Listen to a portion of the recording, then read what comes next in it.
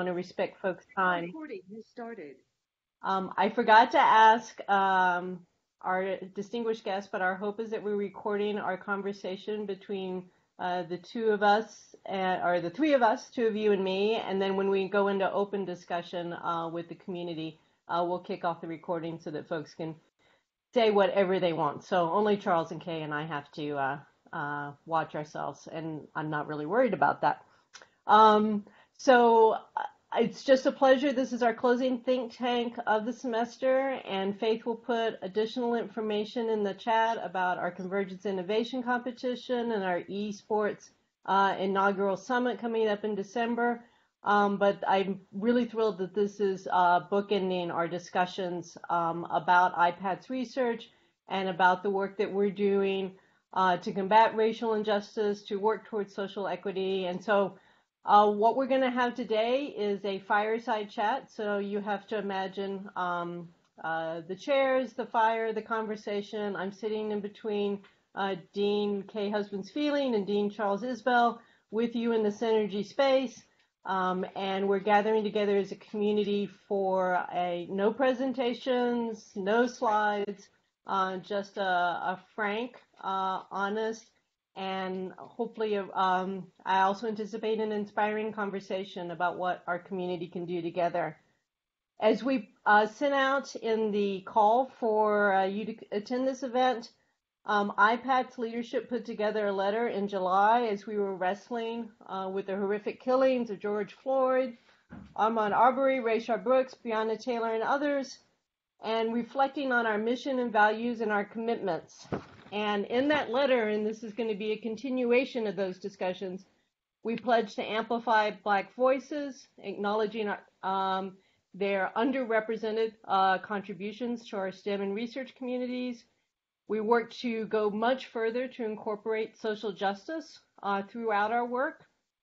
We wanted to provide these types of research experiences not just to our faculty, but especially to our students and frame, uh, for example, our Convergence Innovation Competition, which was normally around industry-led topics, to be much more about societal goals and societal challenges and providing a platform for our students to enter in those conversations with our larger community.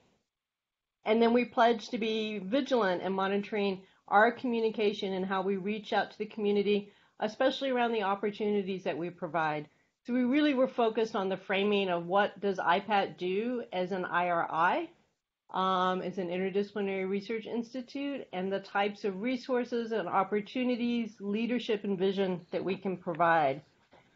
So in our conversations today, um, this is this is part of a series. So we've we've been in conversations. We had a, an amazing uh, discussions with Pearl Alexander around our journeys as individuals um, and really heard from members of our Black community about their experience uh, as scientists within the research community as a whole.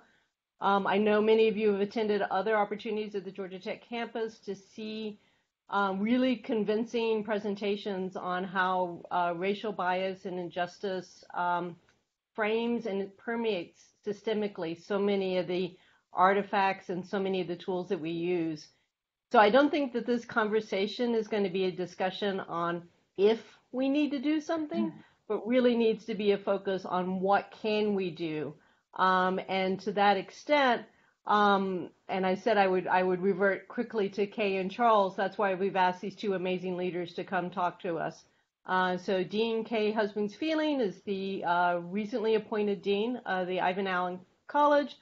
Um, and uh, we've had the great opportunity to work with her in her leadership with public policy before then. Um, and I think Charles has managed to disappear, but he'll come back.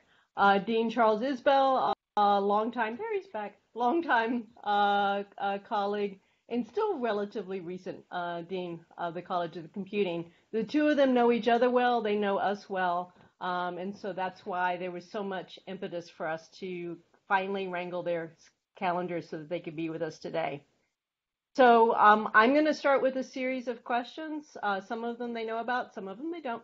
Um, and we'll go back and forth, and uh, then we're going to open it up to the community. But please feel free to use the chat throughout the discussions, resources, comments, uh, questions that you would like to pose, and we will pull from that.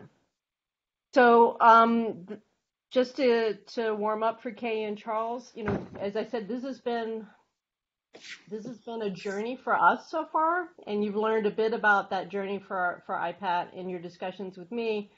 But can you tell us a bit about what that journey has been like for you from June, July on, and you know, from the framing of what you see within the Georgia Tech community? Um, because like like the two of you and IPAT, you know, the, these have been values that we've held to for some time, and we're going to come back to that. But nevertheless, this moment feels different, um, and so help us help us get a feeling as to what that's like for you. Okay, please go first. okay, that's why you disappeared a minute ago. I get it.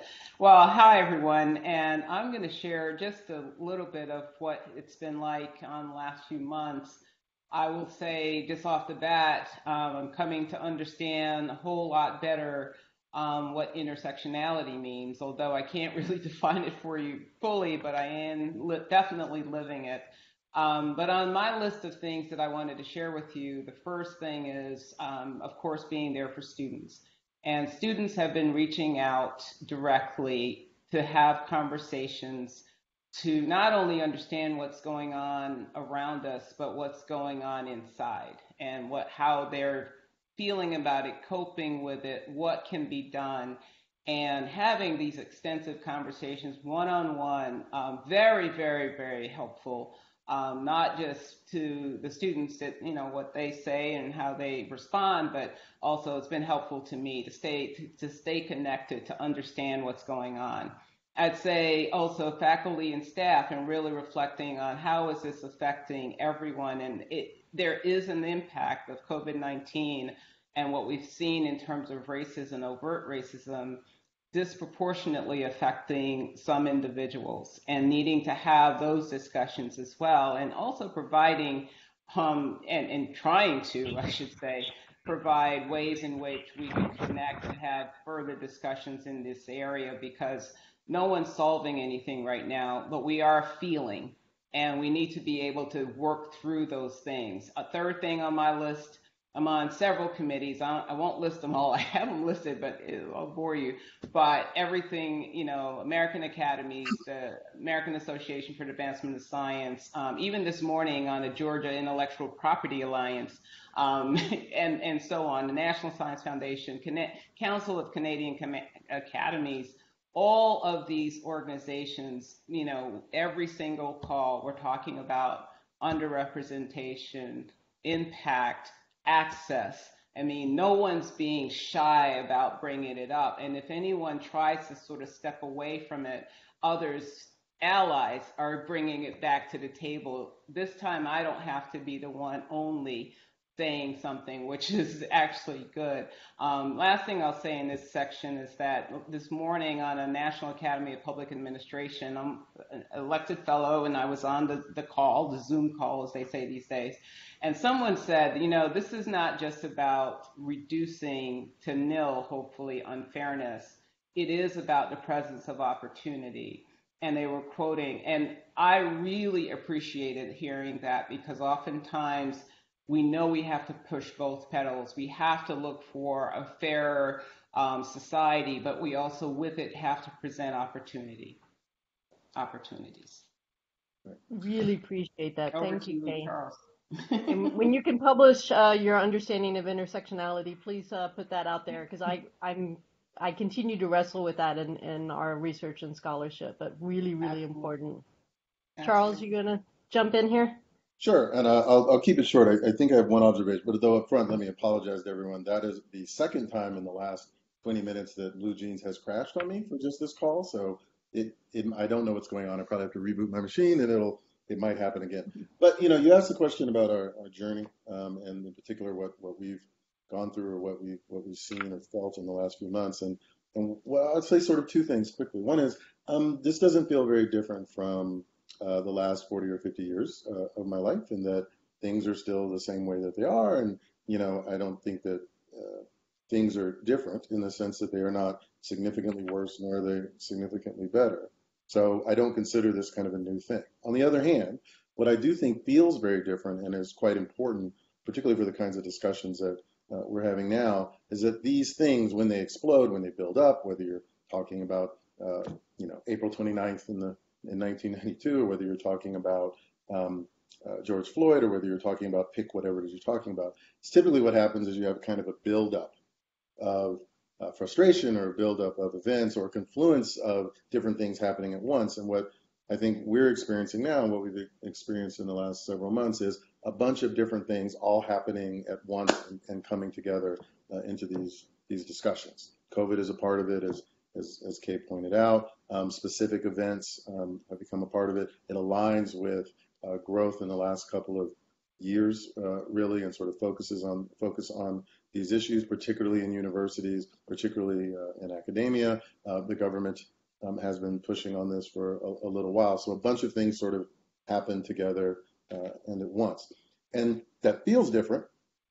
Uh, and I think what's important about it, whether it is different or not, is that it's created an opportunity uh, for conversations around here and these sort of institutional and group conversations that people are willing to have, particularly in the in the age of uh, social media and easy connection and, and sharing of uh, experiences.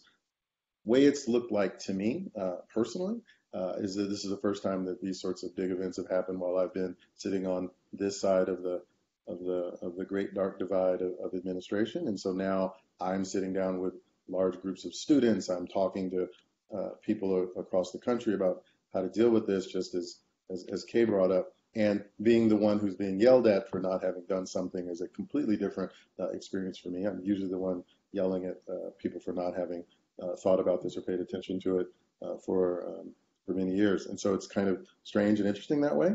Um, but I think these conversations, at least for me, have been very different in that regard, that I feel like maybe there's a chance to actually have a, an impact on the way people think about it, uh, and that I think for um, the first time in a very long time, uh, I think that organizations and people as a group are really willing to to grapple with this and, and see what we can we can do with it. And I, I, don't know if this all had happened a year ago or would be happening a year from now. I suspect it would be somewhat different from what we're experiencing, but we're, we're experiencing it in 2020 in the middle of what's apparently going to be a multi-day election day and in, in the middle of lots of energy that's been building up for the last several years and lots of sort of, of sharing of things. So anyway, that's that's a long and rambly way of saying that the I think the experience for the last few months has been different only insofar, from my point of view, is that it's been much more of a shared experience, and people are happily, and, and I'm quite, uh, I celebrate this, are very willing and interested in having the kinds of conversations that we're having today. So I'm, I'm quite happy about that and, and looking forward to where these conversations will take us.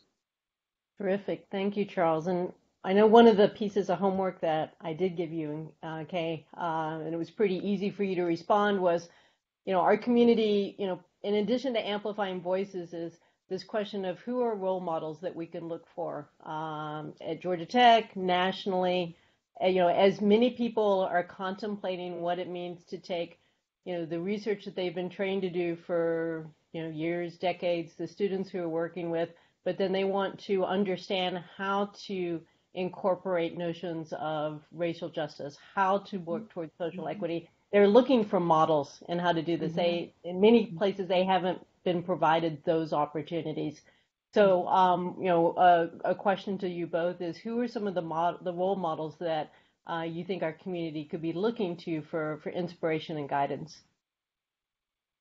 So I, I put a few in the chat, and when you asked that question, Beth, and I pondered, I just wanted to find in this particular conversation role models of scientists PhDs who are also, in this particular case, these are African Americans that I know and I really do admire, um, and watch how they not only do their work, which, you know, a lot of times things can be distracting, but they get the work done, but they also are inclusive and they also are doing things to, as Michele Norris once said, when I was in her presence, and she said something like, lift while we climb. And so Shirley Malcolm is just amazing. Um, I don't know, many of you probably know her. Uh, she's a biologist by training. She's at the AAAS, American Association for the Advancement of Science. And she started this program a few years back called Sea Change. And again, I put all the links to the people I'm talking about in the chat. And this is about science, technology, engineering, mathematics, and medicine. So STEM with two M's. Um, equity achievement, that's what the C is for. And then C change. And this was really looking to affirm um, creating truly diverse, equitable, inclusive communities, but specifically in the sciences and you know it doesn't mean that you you you have to go and do something completely different you can do this while you're working in your field one person that's like that that i've admired for decades a good friend bill massey and anyone that's a queueing theorist on this call knows bill um, and he was at bell labs I, uh, bell labs paid for me to go to grad school so that's how i met bill back at the labs and he started an organization very, very simply called CAARMS. CAARMS is the Council for African and Americans in the Mathematical Sciences. And basically, every summer he has this get together of researchers and young scholars to just do math and, and present papers on mathematics. Um, some, some of it's applied math, but much of it is also theoretical math. So again, looking at doing your work, but also lifting while you climb. The third is Jim West. Um, many of you know Jim. He's 89 years old, still trucking. He's at Hopkins. Um, he has 50 U.S. patents and more than 250 foreign patents on microphones. And so if you know his work, but Jim West, Bill Massey, and uh, Bill Wilson, Ben Askew, they are more in the medical area on biomedical. Uh, we gave talks at Harvard and we gave talk also at Brown um, to students. And these are, I mean, Jim West is amazing, but he's, you know, we all converged, went, talked to students to try to encourage students, um, and these were mainly African American students and Latino students, to um, just go for excellence in their PhD work, go for excellence in the work that they've chosen to do. Um, th- another one that I would put on the list, and I'll, I'll stop with this one, is Goldie Byrd. Goldie and I were on NIGMS at the National Institutes of Health, so one of their councils, and she is so amazing in the work. She's a biologist in the work she does on, on Alzheimer's, but she's also looking at disparities and how disparities of communities affects the onslaught of Alzheimer's, which affects an entire family. Ask me about that. I've gone through this and she is just a, a, an amazing scholar. She's a mentor, but she's also really pushing um, forward with the science and making a difference in in people's lives. So those are the four people I'll put on there. You'll see a fifth one in the chat, Evelyn Hammonds. She's amazing too. Terrific, Kay. This is terrific. Charles, you want to add to this? So I'd love to. So first off, let me just just point out that like Kay, uh, Bell Labs paid my way through grad school. In fact, Bell Labs, through the CRFP program and, and some of its sister programs, can uh, claim to have uh, supported pretty much every single Black PhD um, in the sciences, more or less, uh, between hmm. the mid 1980s and the, the mid 1990s, and, and what is, I think, still considered one of the best programs of its kind. And of course, I know Bill Massey quite well. In fact, I spoke at CAARMS. I think the second CAARMS, I, I gave a, a talk to uh, about information theory. Um, and uh, I, I, agree with everything um, Kay has said about him. I also uh, agree on Jim West, uh, who gave a wonderful, he is sort of responsible for all the basic work for directional microphones. Um, he has a wonderful, he used to have this wonderful giant lab he would take you into where he could uh, manipulate the way sound bounced around a room and then he would shut all sound off and you could hear your heartbeat. It was just a, just an amazing, amazing guy. Uh, and, and so just let me agree on both Bill, Bill and Jim. Um, build Bell Labs. Uh, but there's a couple ways you could you could think about this question. Right? One is about people who, as they've kind of moved through life, have thought very carefully about uh, helping others, and they're role models in that way. And then I think there's also people who, and I'm thinking specifically of people um, in uh, engineering and computing, uh, who have made um, these kinds of ideas and, and, issues around inclusiveness fundamentally a part of their research. So I'll just mention a couple of people in addition to to Bill and um, Jim who are in that space. And so to start with, on people who are more like Bill, uh, I would mention Valerie Taylor. Many of you will not know who Valerie Taylor is, but many of you will. Valerie Taylor um, uh, was the first black woman to be chair of an R1 computer science department or something, I think. Um, for uh, she's recently is uh, she was through the, uh, Chicago through Northwestern and then eventually found her way um, to College Station uh, and has now left that to go um, to Argonne Labs to, to go back to what she says, her sort of basic basic research. But she's a founder of CMANDIT, which is the Center for Minorities and People with Disabilities in IT, CMDIT, CMANDIT. Um, and she is responsible for running just about every big conference and, and big program that, that's out there that's made this kind of difference. She was a part of uh, working with Bill on CARM. She, um, through her organization, CMANDIT, she is um, oversees um, the Tapia Conference. She was one of the, the founders of that, uh, which is the Tapia Conference Celebrating Diversity in Computing. And she's a truly amazing scholar and someone who's put a great deal of energy into this. She's just a couple of years older than I am. Um, she people tend to think of her as uh, their mother. She's just one of those those kind of people. Uh, she's a wonderful uh, a wonderful individual. I'd also say that there are a lot of people who, um, and there are many people, including at Georgia Tech, who care about this. But people who put a lot of energy and effort into thinking about this and merging it with their, their sort of technology research. Uh, people like Timnit Gebru, who's, uh, at Google. Um, but I want to focus on one person we all know, Ayanna Howard, who I hope is not on this call and, and embarrassed by this, but she spends um, an enormous am- amount of time thinking about robotics, AI, uh, data science, and bias, and how the little decisions that we do in design and the way that we we do AI and machine learning have huge negative impacts on what we do. So she's making huge scientific contribution. And one of the consequences of the sort of work that she does is not just that it's important, but it also, in the sense that we're talking about, but also that it opens up completely different questions uh, that are interesting in a scientific sense, uh, as well as uh, socially relevant and made sort of a big difference. So when I look at people like her, I see someone who's making a real difference and you know is doing all of the things that you that you you're supposed to do to, to kind of move through um, move through the scientific world and, and through academia, but it's doing something that, that's going to make a difference. And if you look at the people she's mentored, the people uh, she's worked with both uh, at university, but also out in the world, she's made a huge, clear difference in, in the lives of, of lots of people. And so for me, if you want to look close to home, uh, you can look at someone like like Ayanna, uh, who really really is something someone we can all uh, all look up to in this space. So that is um, um, both both home and far away, and I think Becky is celebrating the Bell Labs connection in the chat as well. Um, just I, I love hearing these examples, and I do think it's really important for us to be able to provide them, you know, for the old faculty members like myself, as well as for uh, students who are starting these starting their their work you know, one of the things I want to push further in this discussion is understanding the kinds of new interdisciplinary work that you could imagine between our communities, between computing uh, and within the human humanities and social sciences.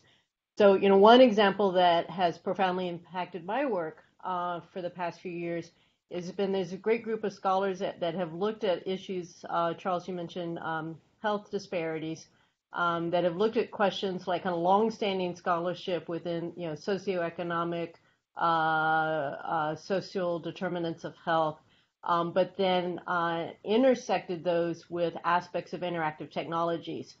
So if and how would you then provide guidance to say, okay, if you're going to do something within mobile technologies, if you just follow the path that, let's say, an HCI path might lead you on, you might actually land up creating technology that works for some and could actually, um, they're called intervention generated inequalities. They could actually increase disparities unintentionally just through how they're deployed and how they're designed and the assumptions they make about whether it's technology literacy, literacy or access to community resources or just even attitudes around you know trust and engagement with technologies.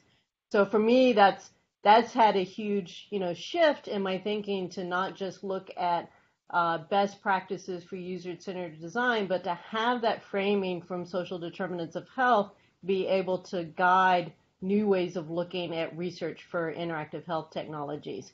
So that's one small example, but what are what are things that you've seen or you would love to see in terms of deep interdisciplinary work um, between the you know the fields that, that the two of you help lead?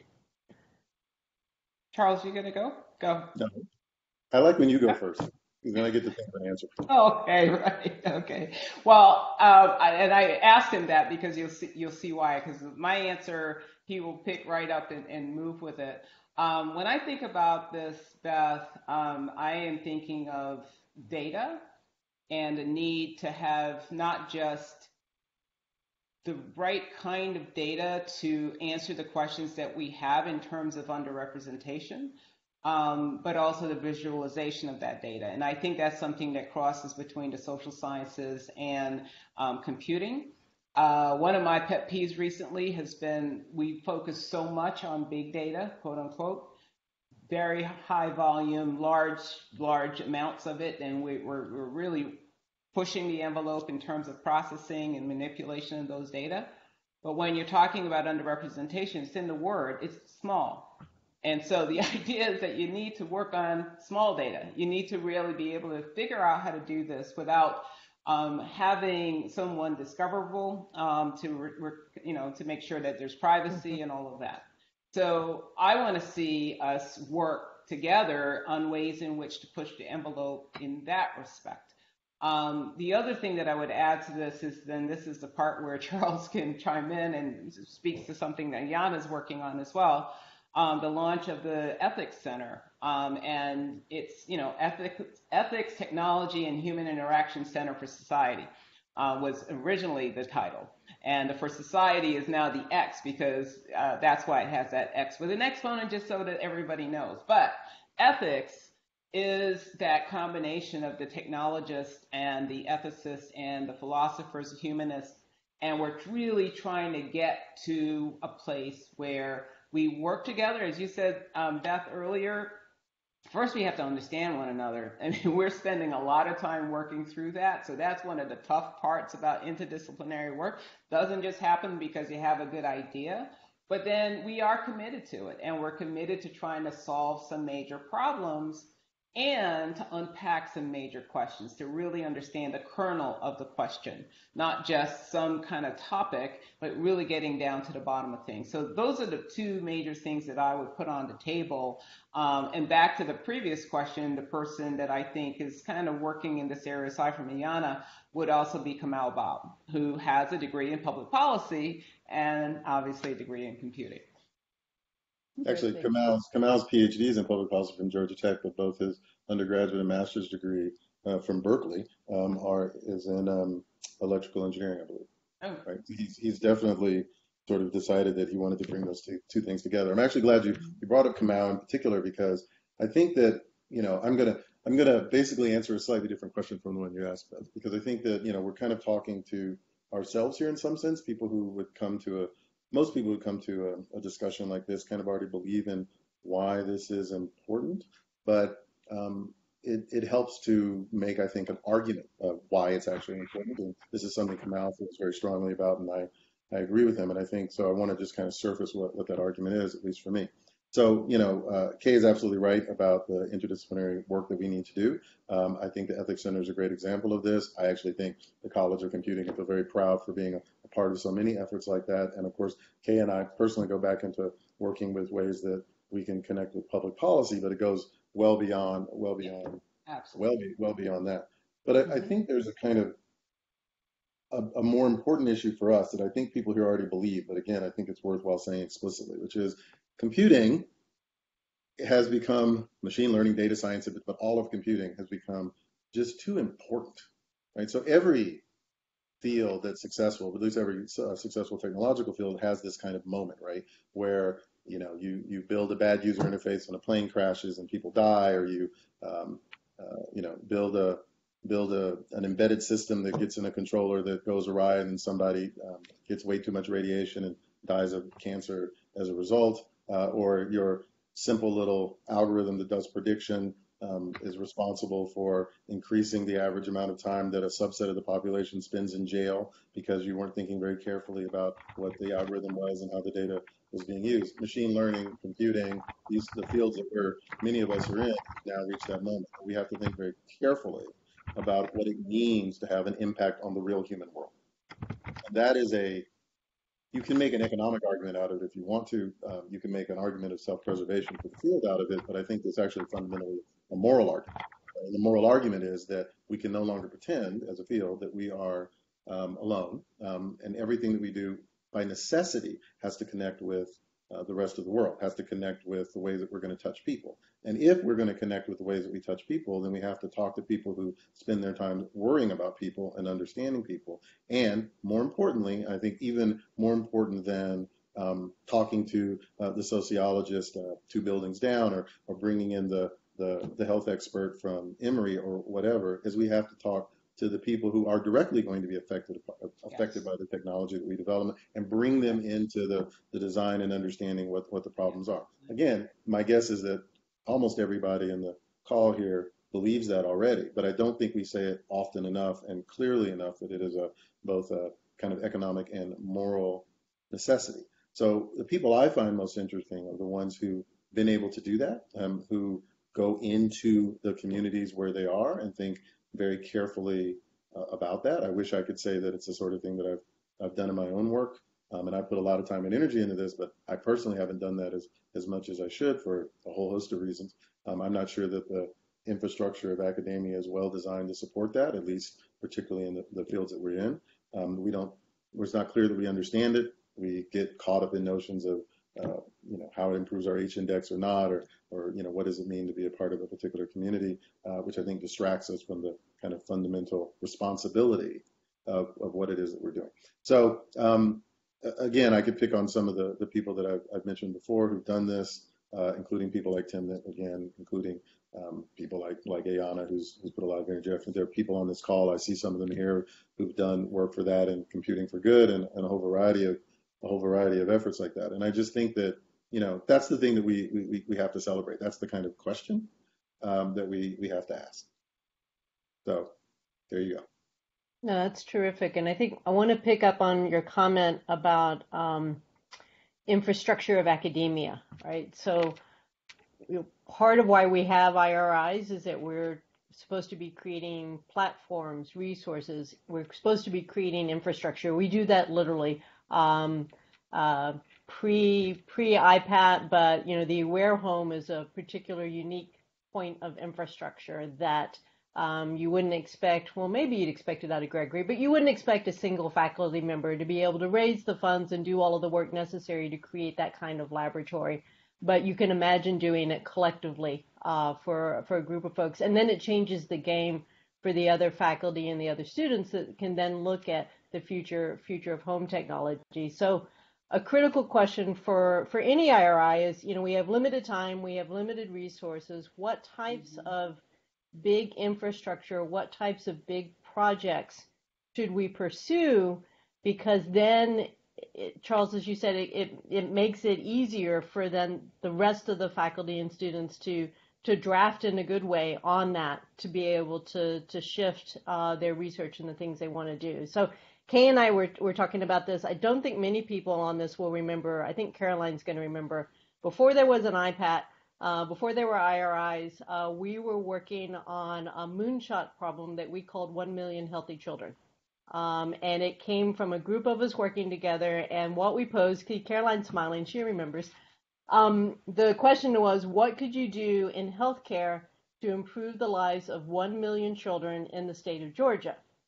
And it was a galvanizing problem. And part of the reason for the 1 million is, is that was approximately the number, actually now it's even larger, of children that are on Medicaid. Uh, so we're looking at, you know, the, the, the least resource um, uh, healthcare uh, setting um, really in the, in the United States. And so it forced us to create different kinds of infrastructure so our researchers could even tackle that. So what came out of that? Well, that was a real huge impetus for the partnership with Children's uh, Healthcare of Atlanta. You know, that notion of 1 million healthy children helped really drive many aspects of that particular part of the of that partnership. Um, and now we had the Pediatric Technology Center, and it wasn't the only thing, but it was a it was a huge part.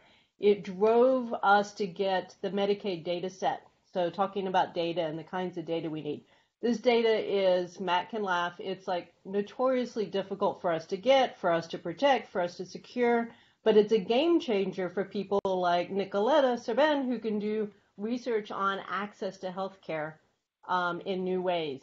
Um, it also forced us to think differently. Uh, instead of folk, you can't you can't target one disease and improve the lives of one million mm. children. You can't You can't have a disease approach to it, which is common in medical science.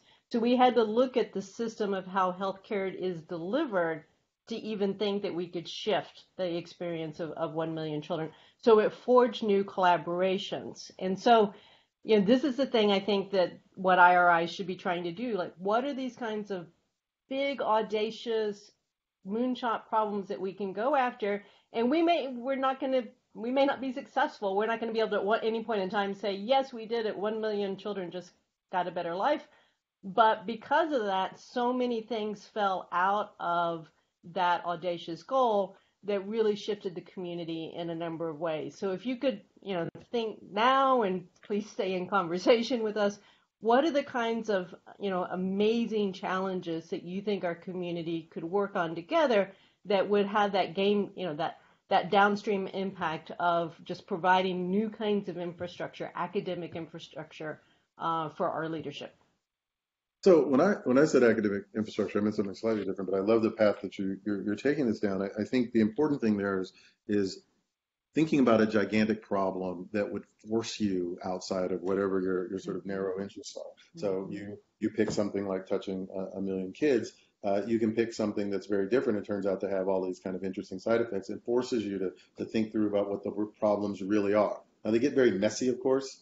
Um, and sometimes it's very difficult to, to figure out um, how I'm going to take the nugget out of here to get the paper published that's going to allow me to get my H index one more higher so that I can get a tenure and, and promoted to a, to associate professor or whatever. But if we think about these as big, hairy problems, I think the right thing comes out. I'll pick something completely different. Um, but I just, res- what you said really sort of hit me because uh, you described a path that's very similar to a path that, that some of us are walking down on. Um, here's a really simple problem. We want to educate every single um, high school student in Georgia. Um, they want to understand enough about computing so that they can go do really cool things. This is an education, but it turns out it has all of these technological implications.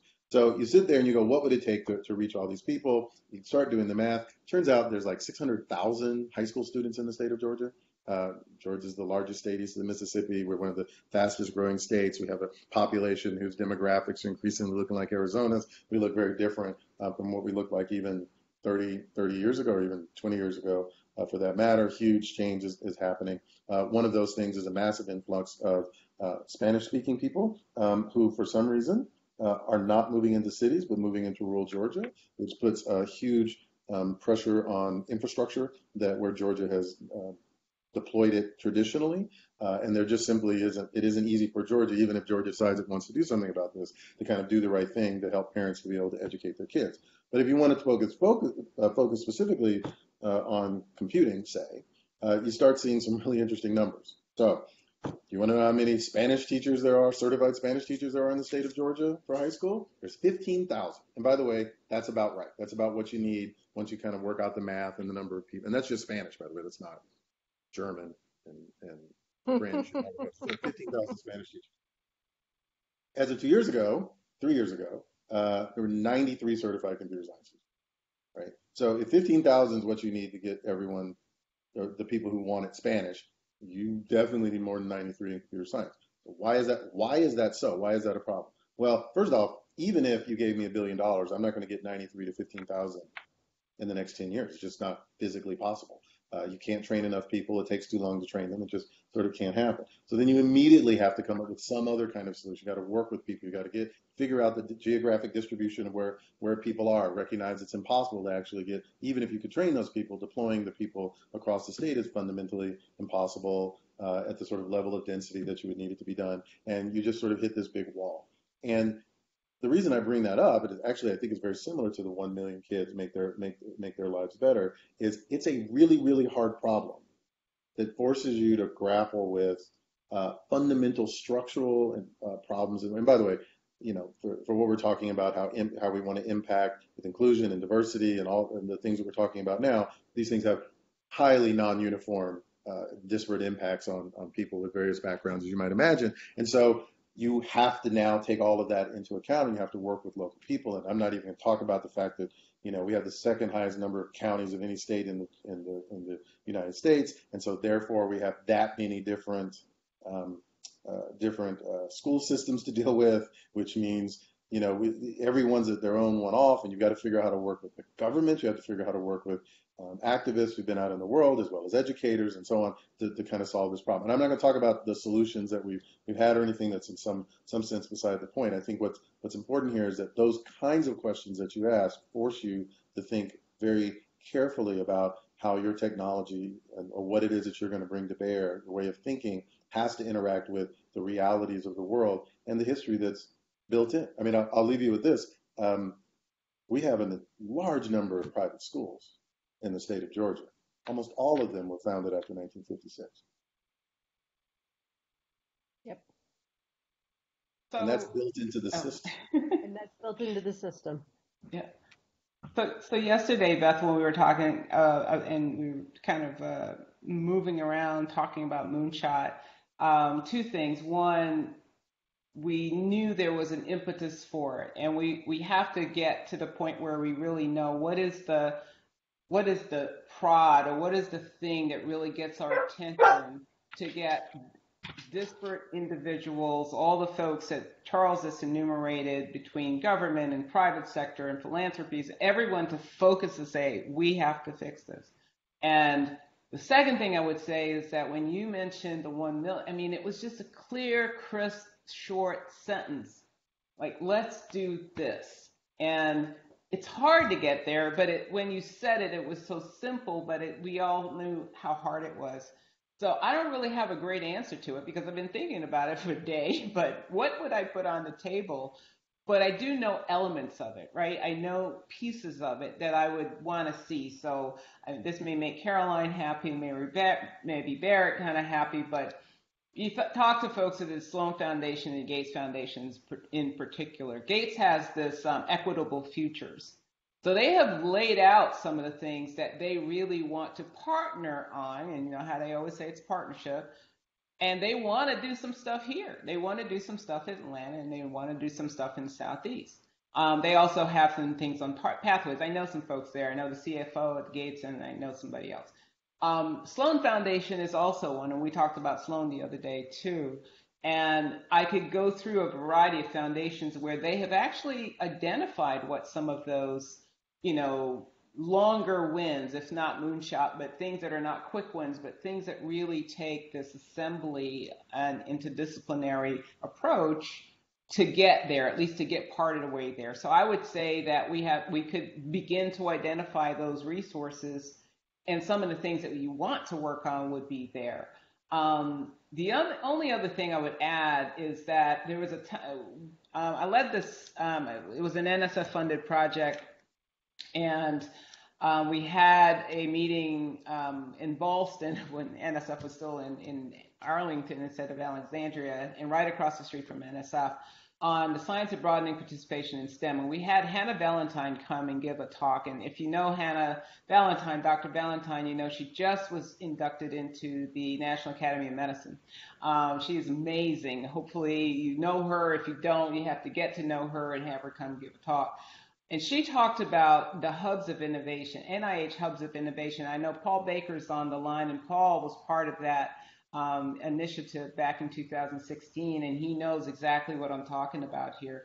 And this hub hubs of innovation, she has a model, and they never executed on it because it was an idea, but they had you know partnerships with industry, the academy, and communities, just like Charles was saying the outcome was really going to be STEM jobs, but the inputs were people. So we're looking at mentoring and training and all of this. We're talking about communication and dissemination of information and back to communities. We're not talking about doing research on people. We're talking about doing research with people. And I always have to say that for, for obvious reasons.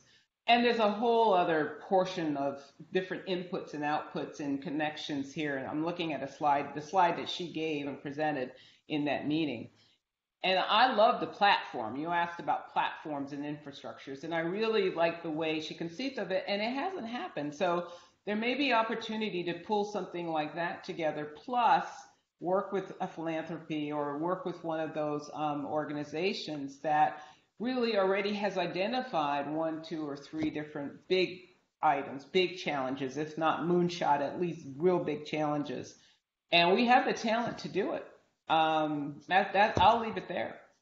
That's perfect. Thanks, Kay. So I I could keep going with you two all day, but I want to share uh, the wealth. So there's some been some discussion in the the chat. Um, they've actually been answering each other's questions. I'm not quite sure which ones they want to to tee up as a question into the the group. Um, but Gregory, you were you were first there, so uh, passing it to you if you wanted to jump in here. Uh, no, that's okay. I think there are actually better questions after mine, so you can go on. All right. Um, I'm looking also, so, okay, they're just taking this all on their own. Okay. Um, just wave if you want to ask a question. I'm looking to Isabel and Becky as well.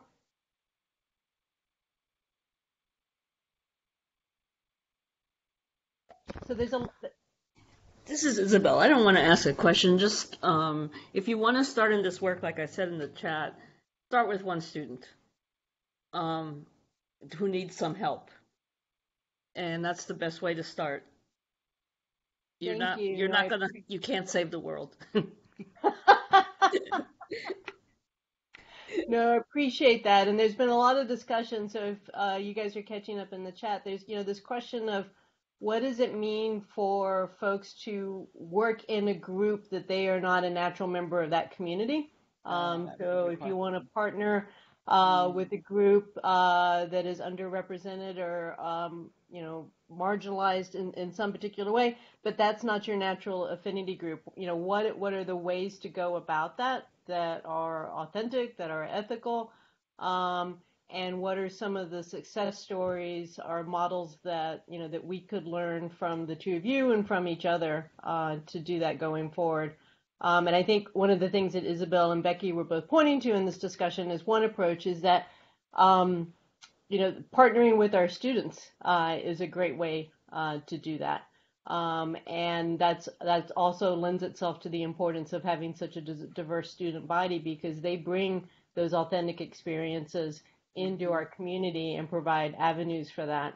Um, Becky will laugh. I know she'll remember when Genevieve Bell came and gave a talk um, about her work as a cultural anthropologist in Intel and what it meant to bring computing to uh, not the U.S. Uh, parts of the world and the long, long line of students who were waiting to speak with her because she was speaking to their lived experience and speaking to their homes and their communities and how just strongly that resonated with them. Um, so, you know, the challenges of, you know, when we do work with subjects of convenience that are from our own our own worlds, um, how we we shut out those conversations. Yeah, it might be just worth contextualizing that Genevieve uh, uh, grew up in Aboriginal Australia, so uh, and so she she she can talk about rural technology use in a way that she also knows how to uh, extract water from frogs, which is a very handy thing to know. Um, so uh, uh, yeah, we've been having a lot. I actually think Gregory, your question was great, and I think it's. Um, uh, I I was sort of Well, wanted to let, echo. let me follow on just a little bit. So, for those that don't know, I, I, I have a lot of involvement in neurodiversity, um, and it's Mhm. because I am raising two children with autism. Mhm. So I see it every day. Mhm. Um, I have been when I have reached out uh, to try to get advice on how to handle or how to deal with or how to support African Americans. I naturally reach out to African Americans um, because when people want advice on autism, they naturally reach out to people like me. Or it, so um, I've been perplexed by the response saying um, you shouldn't reach out to the underrepresented individuals because they have too much on their plate. Ne- Everyone always asks them to do that. But the flip side of that is that they have the lived experience. You all know or should know the expression know about us without us. Uh, um, so I, I feel this frustration that we shouldn't put the burden on the underrepresented individuals, and yet they are the ones that have the richest and deepest contribution to provide. And I know this because I live it. So, by the way, I so I was giving a talk at um, University of Minnesota last week or week before. Uh, not at. I mean, I was in my office. I was here, but you know, um, around these issues, I was asked to do that, and I got asked a version of this. What Gregory's bringing up, is version the question is, how do we do this in such a way that we um, we don't burden people? Uh, and I'll tell you the same answer I told them, which is you can't avoid it, cannot be avoided. Um, that doesn't mean it's good, and um, and Kay may have a very different feeling about this, but um, I, I just think it's impossible. I think what you may be hearing, Gregory, and I'm now going to project my own experiences onto others I have not met, uh, is just, you know, you go through cycles of being tired. I'm Yeah. tired of answering this question, so please don't answer, don't ask me the question. But then there are times when I'm like, okay, I'm perfectly happy to answer the question and to, to be reached out to. And so, you know, you go through the cycles uh, that you go through. But that, that question, the way it was asked to me, was actually asked in a slightly different context. What I think is worth bringing up here when we talk about things like academic infrastructure is it was said that um, how do you do this in a way by not, to avoid burdening people and to have them do things that are not valued by, in this case, academia, uh, Mm. which I thought was an interesting, uh, an interesting formulation. And I think it's right. I mean, I understand the premise behind it. I don't even really disagree with the premise behind it, but it is it it accepts a kind of framing that I would want to avoid. It, the question is who. So first off, if you don't think we value it, value this sort of work, you have to ask yourself, well, whose choice is that? Because the truth is, we we choose to value things, right? We're the ones. I, mean, I can promise you, sitting up at the institute and having conversations about tenure and promotion, and you know what people like and what people don't like, and what they're willing to support and what they're not willing to support. You know, the the the narrowness happens at the leaves, right? It's the faculty who make decisions about what they care about. As you move up through the chain, people tend to be much more open-minded about, you know, what counts as scholarship or what counts as impact. So we ourselves are um, sort of our, our worst enemy in, in that regard. But I do think there are, there are things that happen as a result of this. I'll just give you a statistic because I haven't had the spreadsheet up in front of me. Kay has, Kay has heard this before. Um, of the 32 black faculty at Georgia Tech, uh, 11 of them are academic administrators. So, in fact, of the professors, all but three, full professors, all but three are academic administrators, deans, chairs, vice presidents. So, for good or for ill, if you were to take Georgia Tech as somehow representative of something, it is pretty clear that the black faculty here eventually move into academic administration and what we might call um, a somewhat more service mindset. Um, and apparently have just taken on the idea that it's worthwhile doing these extra things because when you talk to people like Kay, you talk to people like me, or I could name the other 10, um, they always have a conversation like this. They're willing to sort of push a little bit of extra energy energy into that, and apparently it leads to a certain kind of career path. I don't know what my point is there, but just to say, I guess that at the end, it's unavoidable. So I think what I would appreciate is just that people appreciate that I am carrying that extra burden and I'm willing to do it. I have absolutely, as all you all are carrying your own burdens in your own way for, for different things, um, some of which have come up today. Uh, and just, you know, be okay when I would like to take the week off. Can- can- let me just add a, a couple of points there. I think one would be be very careful doing that with students because sometimes students feel that if they're the one in the classroom and something about race comes up, then every head pivots and looks, and you don't want to be that. I mean, that's not what you signed up for. So I, I would say that um, I, I kind of draw the line at the students and say, let students be students, and if they elect to be outspoken about something, fine. If they're not, that's okay. Secondly, um, even if we um, say look or appear African American, um, we may have really different experiences depending on where we're from. Um, the way I speak, you wouldn't guess that I'm not from the US, but I'm not. But then again, I understand the experiences very well, of course. Um, and so you have to also be careful with the fact that it's not we're not monolithic and we have very different experiences and have experienced racism in very different ways. So um, our responses may be different. And I think the third thing I would say is we could look at it as a burden or challenge. We can look at it as putting on, putting burden on someone or sharing the challenge.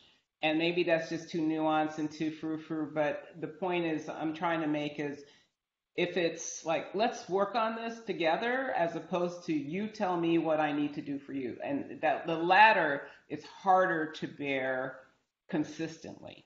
Um, and so then when Charles says sometimes we want a break, yeah, but the word that I would put to all of this is leadership. And at the beginning of this call, uh, we were really asking, and Beth was really digging in on leadership. Who are the leaders? Who are the people that we look to?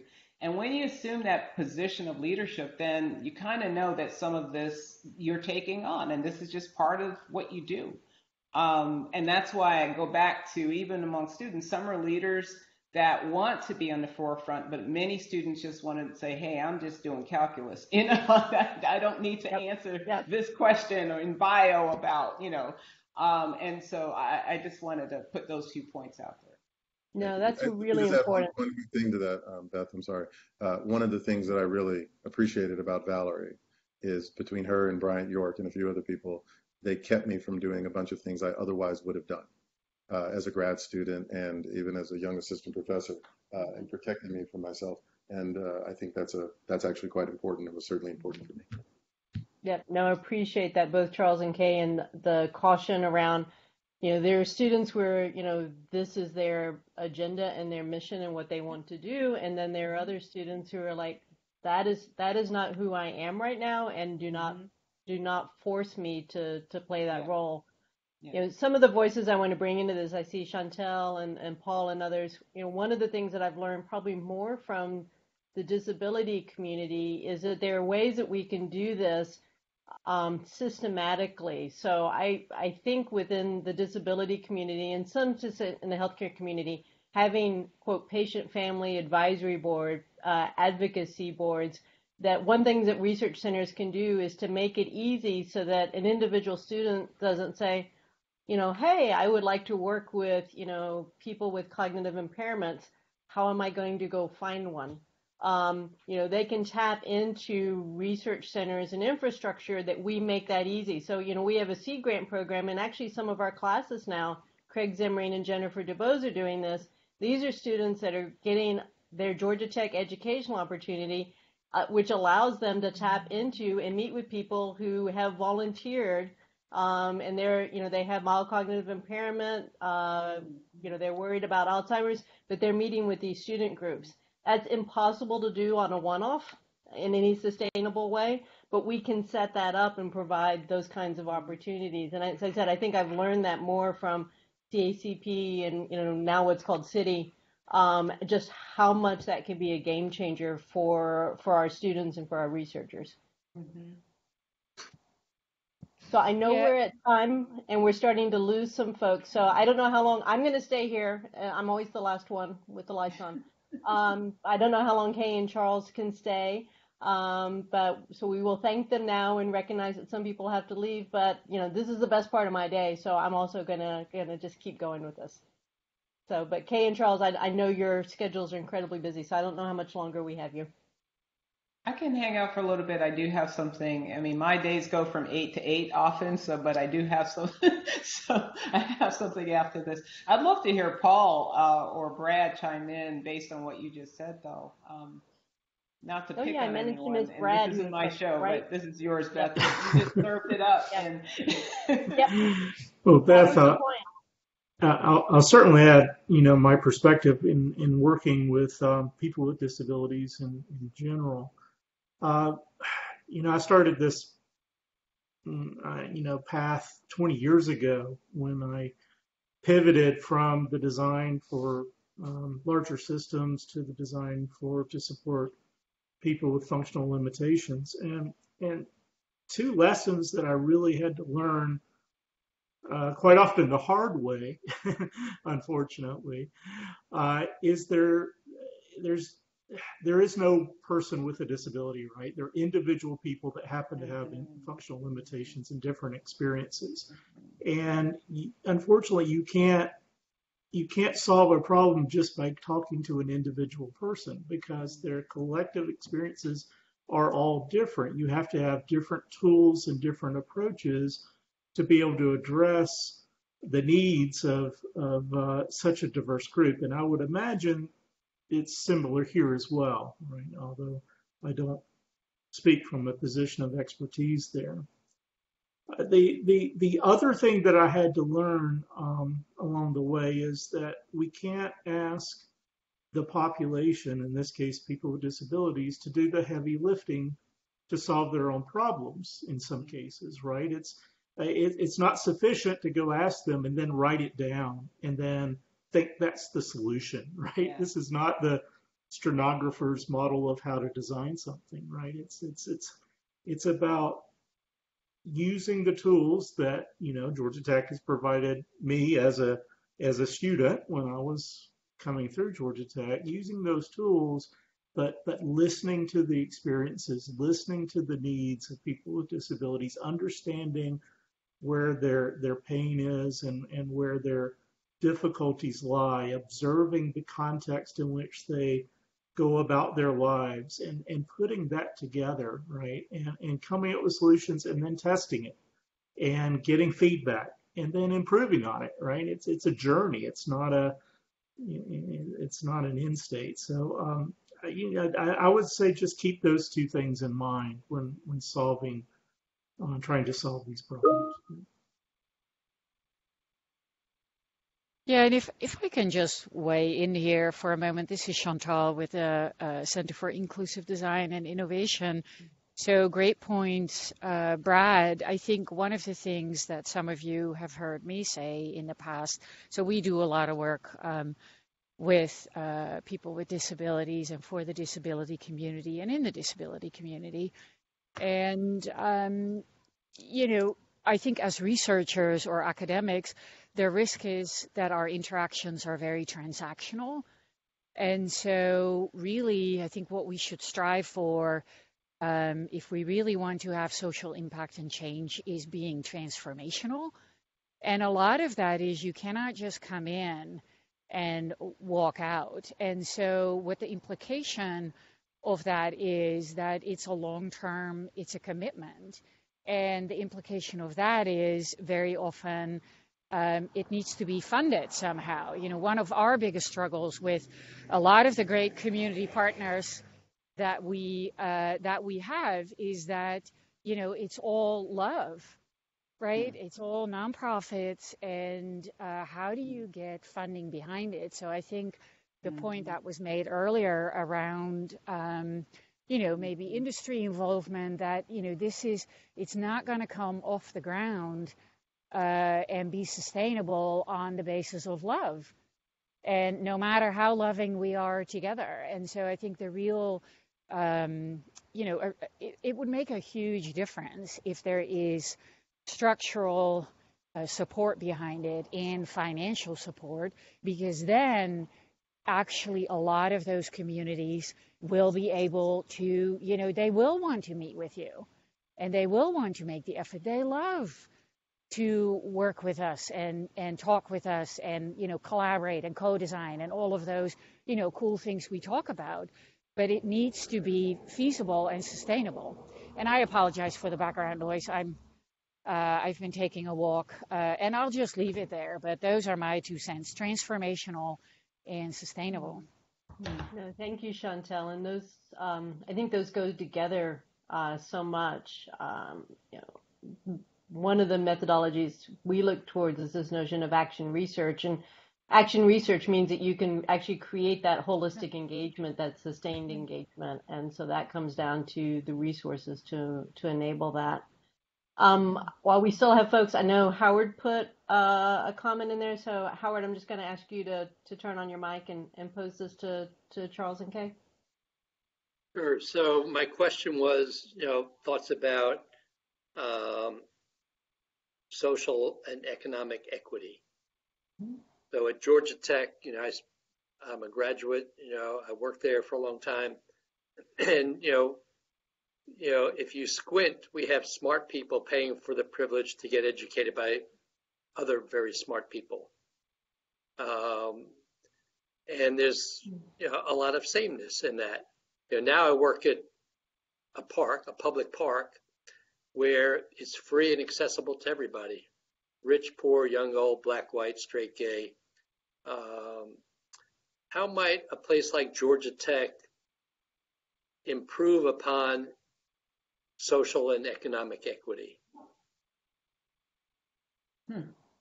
Well, I'm Hey, glad we Howard, saved the easy this is question for Caroline last. Wood. Barrett had to go, um, or he would have been happy to answer that question.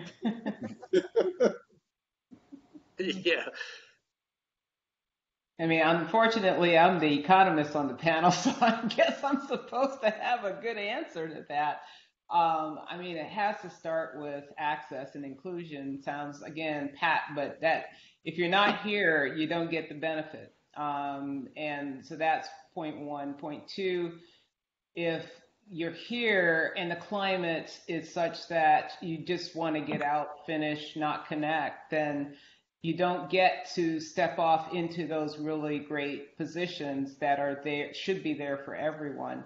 Um, so it's important. I mean, my own experience when I was in graduate school was that I lived a very independent life, even independent of my advisor, though I finished and everything was great. But I did something kind of weird. I, I did used um, mathematical model on eh, game theory model, and I was putting some data to it, and it wasn't what he did, but I liked it, so I did it. Um, but when it came time to um, publish and do other things, I really felt outside of the other groups of folks that were working on things. I felt that um, I didn't have certain types of, now I know what I was missing, and now I know the kinds of connections that I needed. Um, so my point is, it, there isn't a, um, an easy answer because it isn't a straight from point A to point B answer. It isn't like you do this and you get this kind of resolve. Otherwise, it would have been done.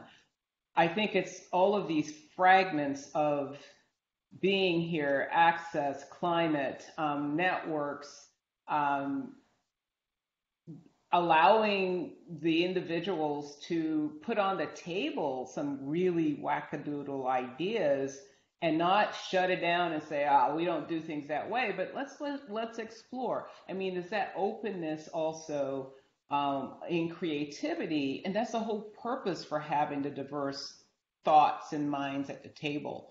And so I, I don't have a good answer to how do we get from, you know, being here at Georgia Tech to more equity in terms of economic opportunity. I don't know how to get from that point, one point to the other point easily. But if you're not here, you don't get there. So we have to have access and we have to lower the barriers in many different ways that we're all talking about recently. But then there are other points along the way where, again, the mentoring, the networks, access, the um, allowing contributions to be not standard all of that acceptance is necessary. And I'm saying that as a, an African American woman, but when I say acceptance, that also probably goes for other groups as well. So I, I don't have much to add to that, but I will say two things. One is, so first off, absolutely access. Um, that's sort of the, the thing that we have. And if Georgia Tech is good at nothing, it is good at scale uh, and in everything we do, not just in engineering and computing, for example. You know, we have the largest PhD program in architecture in the country. We're just big. We do we do scale. We do scale very well. Um, and, I, and I think focusing on things like access and our public mission is an important way to think about how to to have uh, an impact on on inequity um, and what's out there in the world. I'll point out that you know the OMSCS we have 11,000 students. I mean, the College of Engineering by students is 41% of the university. The College of Computing is 39%. And it's because of that. And by the way, uh, of those 11,000 students, the percentage of underrepresented minorities is more than twice of what it is on campus. And given that the number of students is literally two orders of magnitude, it means anybody who's taught um, in that program in the last year has probably taught more underrepresented students than pretty much everyone else in the college combined over the last 10 years, right? So you can have that. And by the way, how do we do it? We did it by admitting every single person we thought it could succeed. So we're admitting 65% of the students, not 10% of the students. And it's having a measurable impact, right? So I, I think focusing on our ability to do scale and being willing to do some things we wouldn't be willing to do normally is a way of doing that.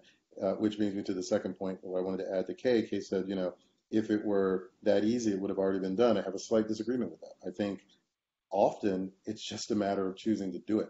The hard part is finding the will to do it. And so many, so many things you're able to change uh, just by convincing people that they can do it and they have a responsibility to. Uh, and then they do. It's not saying it's trivial. Kaye's point is completely, completely right. These things are difficult. But so much of it is given the resources we have, the power that we have, the things that we're able to do. If we just decide we want to, it can just happen. Oh, look, I'm getting a call for the meeting. Sounds almost like a Jeopardy and that quiet. And that was a hard question, um, but you did get $200. Um, in the chat, I did put a few articles um, on uh, rural innovation by Tim Wojan. I know Tim, he's done a survey years ago. And when you're talking about access, that's another piece of it too. Um, finding creativity and innovation in areas that we don't, where we usually don't look. So I'm going to take that well-known sound of a Teams notification to recognize that we're probably losing Charles, and I know Kaye's got more to do tonight. Paul, I saw you, so I'm going to stay around for people who can continue this conversation. It is just, um, it's been so wonderful to see everyone, to have this conversation. Thank you very much, Deans Kaye and Dean Charles. Uh, you know, just uh, uh, fantastic. Hopefully, this won't be the only time that you come and, and talk with us like this. Uh, we'd like to, to check back in with you. Um, and I think more importantly, uh, everything in the chat, the resources, um, and the, the challenge to us, the challenge and the opportunities that I think we can provide are profoundly important. So thank you, thank you again. I know folks are dropping out. I said hi to Caroline's cute little dog. Um, and um, again, I will be the last one here, but um, thank you and really, really so appreciate it. Thank you. Bye. Thank you for having us. Bye, everyone.